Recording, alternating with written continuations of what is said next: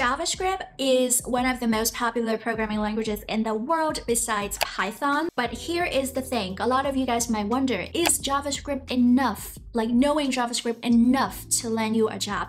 And I feel like that is such a complex question to answer. And in today's video, I wanted to break this question into a more in depth answer. Yeah, let's talk about that.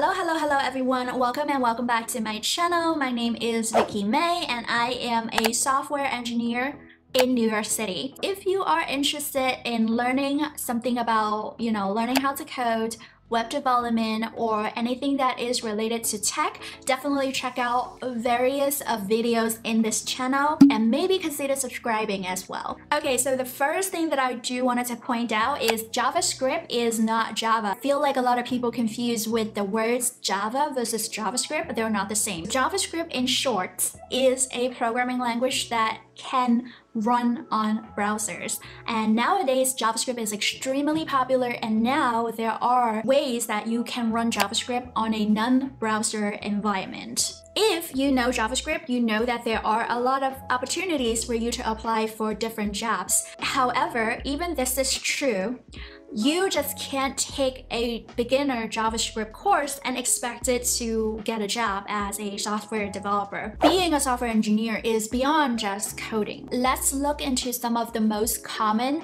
rules that you can get with just focusing on JavaScript. Number one is front-end developer. So front-end developers are responsible for building visible and user-facing parts of the website or application. They work really closely with designers, transforming the visuals into code. Many, many, many years ago, it used to be the case that knowing HTML, knowing CSS, and knowing jQuery would be enough for front-end development. But as time evolves and as many JavaScript frameworks become more and more popular, knowing you know one type of javascript framework it becomes almost like a must it will put you into an advantage if you know at least one javascript libraries or frameworks like angular react or even vue it's more like a requirement nowadays and i would say that you know a lot of people wonder if jquery is actually relevant anymore. I would say it really depends. But what I do think it's important, and especially for front end engineers, is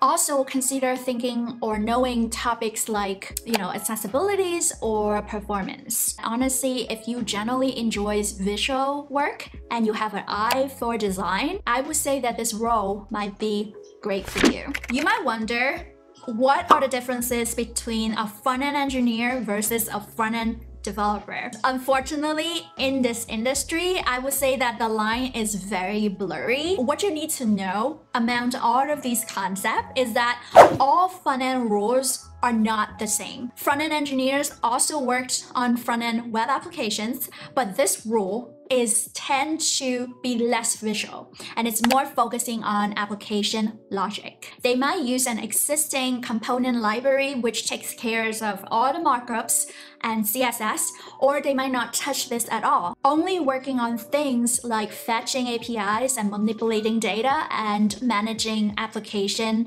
state. What you would expect in this role is more of a JavaScript heavy and advanced JavaScript skills is very necessary. You will expect to know at least one JavaScript framework like React or Vue or Angular, and often an extension of a language called TypeScript. TypeScript, long story short, is basically JavaScript but with types. More than that, you probably need to be more comfortable of working with external APIs, and not all companies mix the distinctions between front-end development and front-end engineering. The smaller the company, I would say the more likely you are doing both. There are a lot of options out there, honestly, and I would say that a lot of times these two roles are very different. So when you are looking for jobs or when you're looking for the perfect roles for you, you need to really understand what you like, what you enjoy the most, and then go from there. Based on my past experience, is try as many things as possible. And the more that you try different roles and different tasks, you would started to realizing what brings you joy and happiness. Let's talk about full stack developer. This role involving working on both front end and back end. Can you really do this if you only know JavaScript, right? And the answer is yes, if you find a company that has the right tech stack. Uh, looking for a company that is using Node.js, which is essentially a server-side JavaScript. Full stack development is about the breadth of knowledge. It's not about the depth. It is consider, you know, knowing a little bit of front end, a little bit of back end, and knowing that how to build out the entire application on your own or with your skills. You're expected to understand multiple layers of the stack, right? And but not to same levels as expertise as a developer that is specializing in one particular area. That being said, most of the full stack developers do have a slight preference for either front end or back end development. If you like to be able to do a little bit of everything, you probably will enjoy um, full stack development a little bit more. It's also very useful if you wanted to work for a small startup because the fact is you get to actually wear different hats and learn and pick up different tasks. There is a second part of this video where I will continue talking about the topic of if JavaScript is enough to get a job and also different options and rules that you can do with JavaScript. Until next time, I will talk to you soon. Bye.